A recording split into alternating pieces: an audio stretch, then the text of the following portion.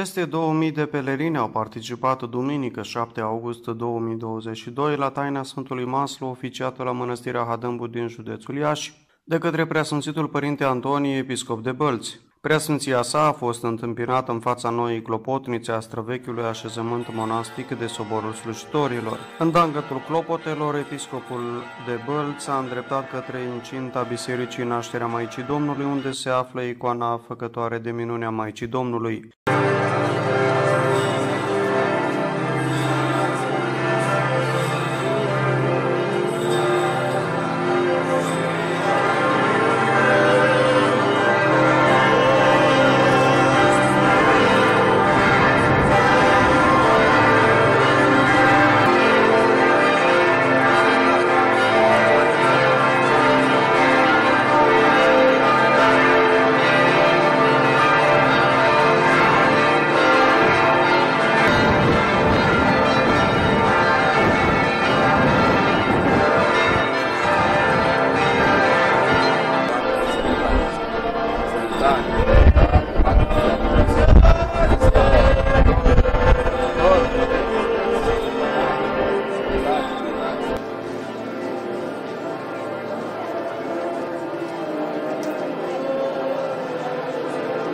Într-o atmosferă de pace și de bucurie, Părintele Episcop Antonie a slujit taina Sfântului Maslu cu binecuvântarea înalt preasânzitului Părinte Teofan, mitropolitul Moldovei și Bucovinei. Oamenii s-au rugat atât pentru sănătatea lor, cât și pentru cei din familiile lor, închinându-se în locașurile de închinăciune și la icoana Sfântului Ioan Botezătorul situată în zidul vechi al mănăstirii.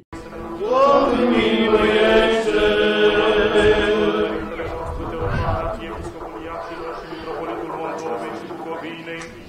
și pentru preasfințitul Părintele nostru Antonie, Episcopul de Vărs, pentru cinstita preoțime și cea cu Hristos diaconime, pentru tot clerul și poporul Domnului să ne rugăm. Doamne, miluiește! Și dacă am năpăstit pe cineva cu ceva întorc împătrit, și a zis către el Iisus, astăzi s-a făcut mântuire casei acestea, că și acesta este fiul al lui Avram. Pe care slujitorii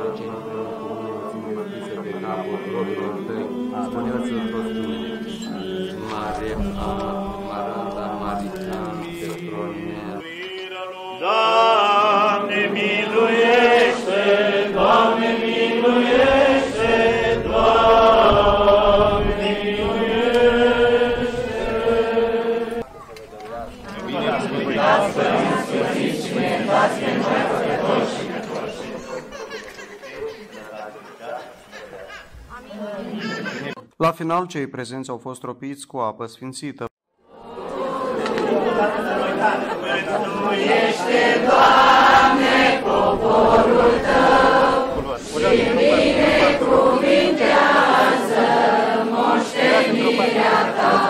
Știm că tainele bisericii, adică aceste lucrări sfinte, care se săvârșesc în mod nevăzut prin lucrarea Harului Duhului Sfânt, se desăvârșesc în oamenii credincioși și în oamenii evlavioși și în oamenii care vin cu credință la Biserica lui Hristos, care este izvorul tuturor tămăduirilor. În biserică se lucrează mântuirea și în, lu- în biserică se lucrează vindecarea sufletelor și a trupurilor noastre. Și astăzi, Preasfințitul Părinte Antonie, împreună cu Părintele Stareț Nicodim și împreună cu părinții slujitori, astăzi ne-am rugat pentru sănătatea sufletelor și a trupurilor noastre, pentru că avem mare nevoie de Harul lui Dumnezeu, avem mare nevoie de tătămăduirea pe care Domnul Hristos o dă.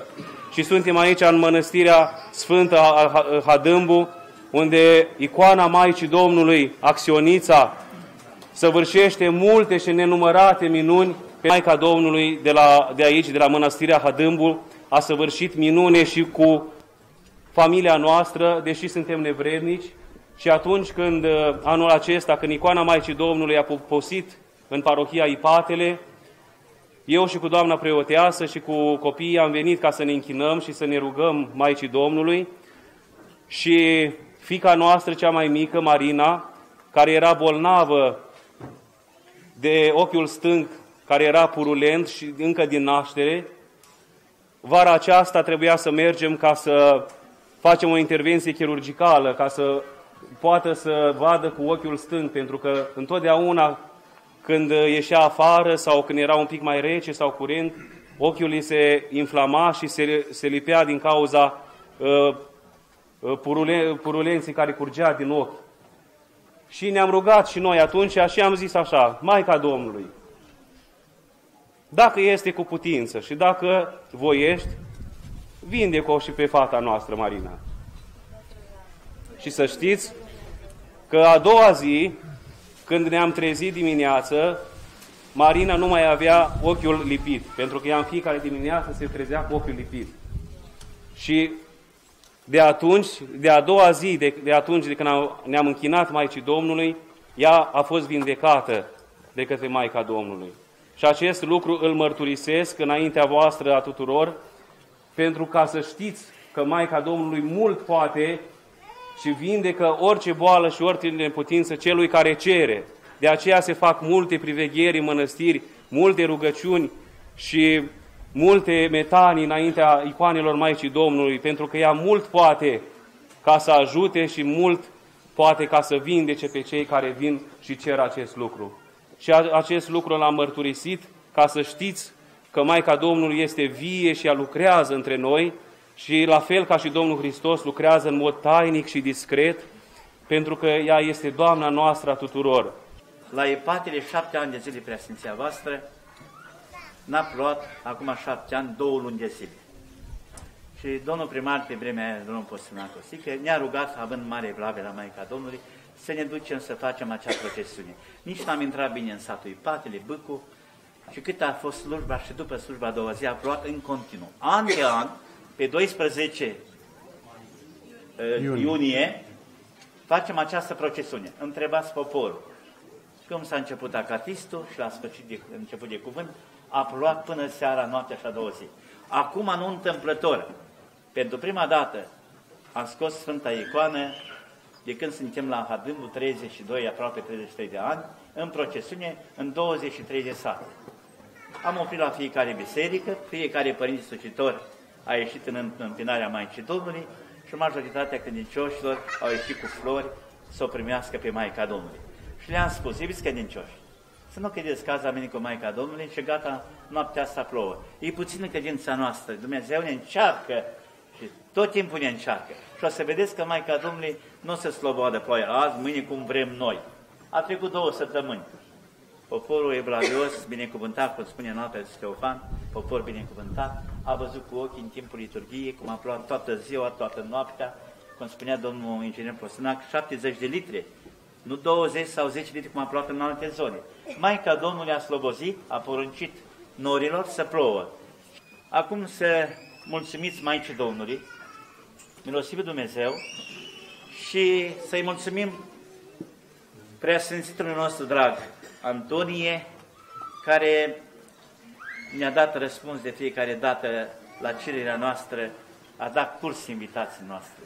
Preasfinția voastră vă mulțumesc și mă plec în fața preasfinției voastră, mulțumindu-vă din suflet și las pe Hristos Dumnezeu să vă răsfătească cum va ști mai bine. Mai bine. Iar noi vă asigurăm de toată dragostea părintească, smerenia și supunerea care o meritați. Și să nu uitați prezența voastră că de fiecare dată am ținut foarte mult la Basarabia și știți prea bine personal și voi rămâne cu aceeași căldură și credință pentru Basarabia. Vroiam să mulțumesc Părintului Staris pentru invitație și în prea Sfințitului Părinte Teofan pentru binecuvântare de a reveni aici la Hadâmbu. Vă mărturisesc că de fiecare dată vin cu multă dragoste, nu este pentru prima dată când uh, sunt aici la Hadâmbu, dar vin și eu, la fel cum veniți frăților voastre, să ne încărcăm sufletește aici, să ne tămăduim uh, sufletește, pentru că într-adevăr este un loc aparte, este un loc binecuvântat, un loc unde Maica Domnului face minuni, a făcut, face și cu siguranță va face ca asta uh, este lucrarea Maicii Domnului cu cei care îi se roagă cu credință puternică. Astăzi am auzit câteva mărturii despre minunile care s-au săvârșit aici, dar sunt mult mai multe minuni, poate care nici Părintele Stareț nu le-a, nu le-a auzit. Am venit cumva și să-i mulțumesc Părintelui Stareț și pentru deschiderea lui, pentru ajutorul lui care îl oferă pentru Basarabia. Este, cred că, Părintele care a făcut cele mai multe daruri pentru, pentru Basarabia. El uh, iubește acest pământ, iubește basarabenii și trebuie să vă recunosc că este atașat cumva de episcopia de Bălți, episcopia noastră, și nu o singură dată a trecut prutul și ne-a adus daruri. De aceea, Părinte Stareț, vă mulțumim și suntem uh, într-un fel uh, datori și obligați chiar să, să venim la apelul frății voastre. Vă mulțumim și dumneavoastră tuturor sănătate și fie ca rugăciunile care le-am rostit astăzi aici să fie de ajutor pe cărui în parte și să vă tămăduiți și sufletește și trupește cei care au nevoie. Părintele Episcop Antonie și soborul preoților s-au închinat apoi la icoana făcătoare de minunea Maicii Domnului.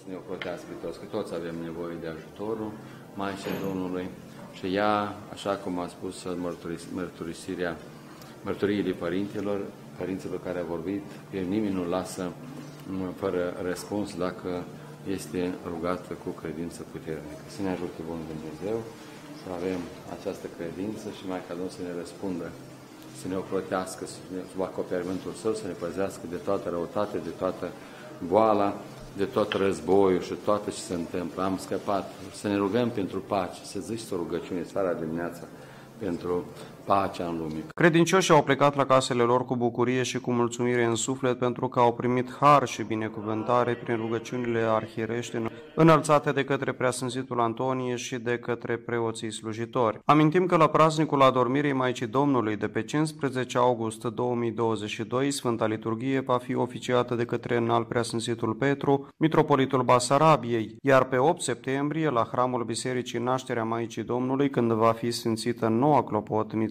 și pictura exterioară din pritvorul catedralei acoperământul Maicii Domnului, Sfânta Liturghie va fi săvârșită de către înalt preasânzitul Părinte Teofan, mitropolitul Moldovei și Bucovinei. Pe 14 septembrie, de înălțarea Sfintei Cruci, Sfânta Liturghie și slujba procesiunii Drumul Crucii vor fi slujite de către preasfințitul Părinte Antonie și de către preasfințitul Părinte Damaschin Dorneanul, episcop vicar al Arhiepiscopiei Sucevei și Rădăuților.